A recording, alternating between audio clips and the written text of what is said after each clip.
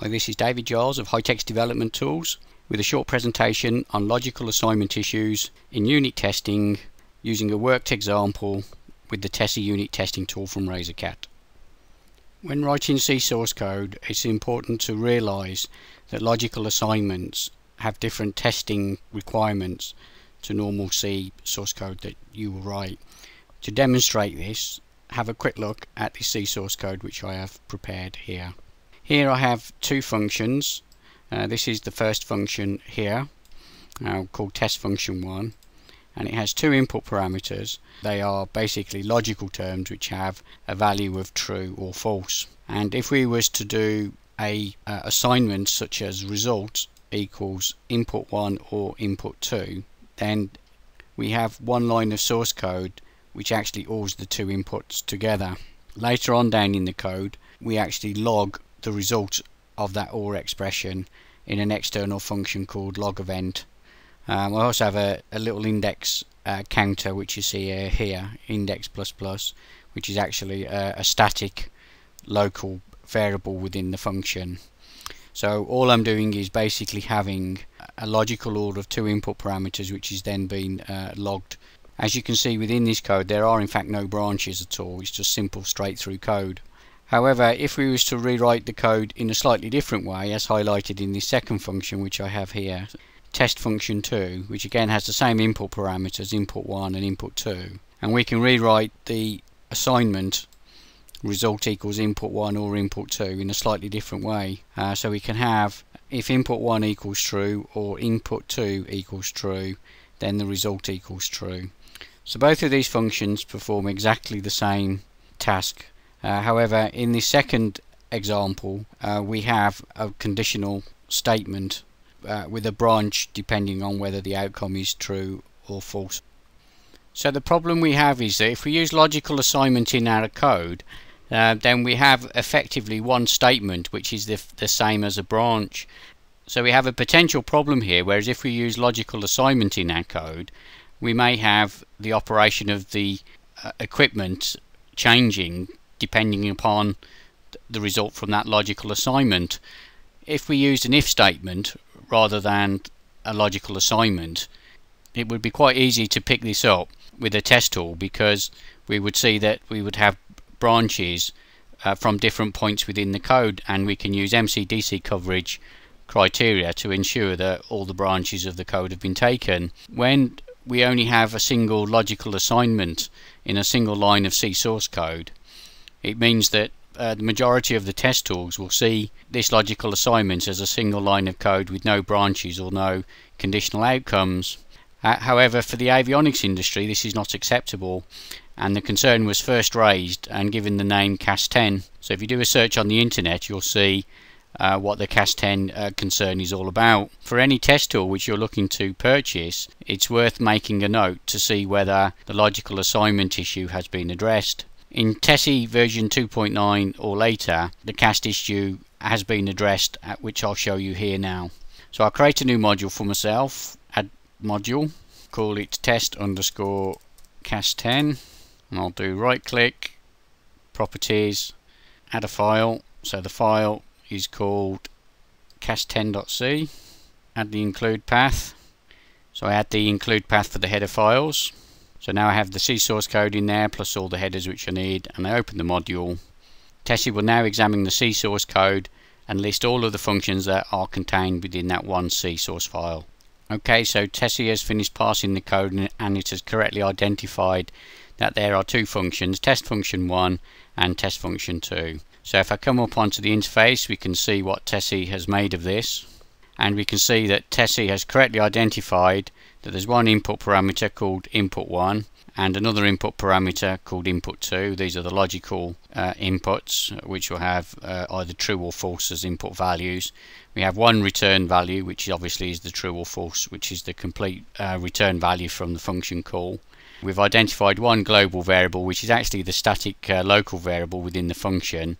Um, so obviously TESSY shows it here as a globals which allows us to effectively modify that parameter and also at the top here we have the external function which is log event. I'll create an advanced stub uh, for all the test objects and uh, as you can see here now we'll have uh, two additional parameters which will come up in the test data editor. So I'll close this down, click on yes, and we come up onto the right hand side, hit the insert key, create a new test case for ourselves. So double click on the white icon I'll open the test data editor, put some data in here now. Initially the uh, the index which is just used as a parameter for login, I'll put a, a nominal value in there of 0 and we'll, we'll fill in some um, values uh, for here. So we'll have false as the first input parameter, false as the second input parameter and we know that the return value from the function should also be false and we know that the uh, index um, counter is incremented by 1 within the function so that changes to 1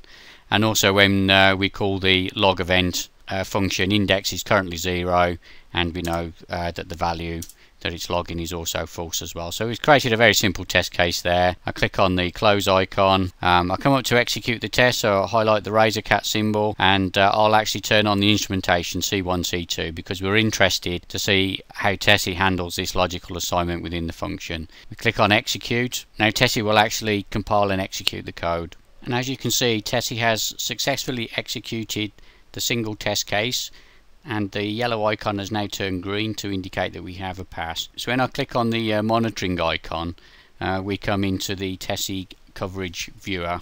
And uh, as you can see here, uh, we have, for this particular test function, 100% um, branch coverage, uh, which is what the C1 suffix indicates. The MCDC coverage, however, only shows 33%, which is rather interesting. So as you can see from the MCDC uh, coverage information, we actually only have 33% MCDC coverage, even though with a single test case we have 100% branch coverage. And the reason for this, of course, is that the logical assignment statement is treated a little bit differently in order to ensure that we in order to ensure that we test this function correctly. So if I highlight the red diamond, you can see in the coverage viewer window on the right hand side, uh, you can see we have a test case where input 1 is false and input 2 is false. And it was test step or test case number 1 which generated that test condition for us. But you see we have two red bars uh, just below that which represent two additional test cases that we require to get 100% MCDC coverage. And it's quite obvious when you think about it which two test scenarios these are. The first one is obviously where input 1 is false and input 2 is true. And we have another test case which we need to do, which is where input 1 is true. And because it's an OR statement, we don't really care what uh, the, the value of input 2 is that we're used.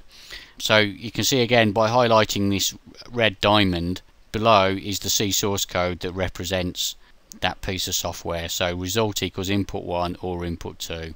So a single test case gives us 100% branch coverage, but it doesn't give us 100% MCDC coverage because this logical assignment has to be treated differently. And this was something which the avionics industry had identified as being a potential weakness when testing software. So it is very important if you're writing software in accordance with DO178B that you use a test tool that's able to pick out these kind of um, potential uh, problems. If I close this down and uh, now take a look at test function 2 and uh, if you remember the C uh, source code was uh, pretty much identical only the logical assignment line had been uh, replaced with an if statement so what I'll do is I'll very simply create a test case for that and we can see how the two compare. So I have a global stub here. I'll just make it identical to uh, the one which uh, we had um, in the other test scenario. And I come up into here, click on the insert button. Have our first white test case. So I now need to load it up with test data. So I'll put exactly the same test data in as which I had for the previous test case. So we start off with index being 0, the two input parameters to the function are going to be false. The return parameter from the function is also going to be false and index will be incremented by 1 and the log function will have the same parameters as what we had earlier which is index of 0 and uh, the result value which is false as well. So I'll close this down. So I'll come up onto the Razorcat symbol, generate the driver, click on run. I'll keep the instrumentation turned on so we can see how uh, TESSY will show this visually different from the previous example. The test has successfully executed and uh, the yellow icon has turned to green. If I click on the monitoring icon and you can see we have a slightly different drawing to represent the different uh, source code. You'll notice now when I hover over the branch coverage and MCDC coverage information, you can see we have 50% branch coverage and 33% MCDC coverage. And when I click on the red diamond, the same decision table that we had in the previous example is brought up and you can see that we have a single test case which satisfies the first of three of the required test cases that we need to do to get MCDC coverage.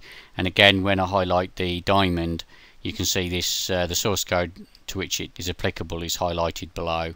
And if I highlight the green path, uh, you can see this represents uh, this part of the code here. So it's actually taken the false and uh, the true one is not yet executed yet. Okay, I close that down. And that completes the brief introduction to logical assignments and potential issues with using logical assignments when writing software. If you are going to use logical assignment in your C source code, then it's imperative that you choose a test tool that is able to correctly distinguish this from any other single line of source code which you have. A logical assignment should be treated the same as if it's a conditional branch instruction. For those customers in UK and Ireland, you can find additional information on TESSY, the unit testing tool from Razorcat, on the Hitex website www.hitex.co.uk or please contact myself David Giles on dgiles at hitex.co.uk. For other regions, please contact my colleague Frank Buechner on frank.buchner at hitex.de.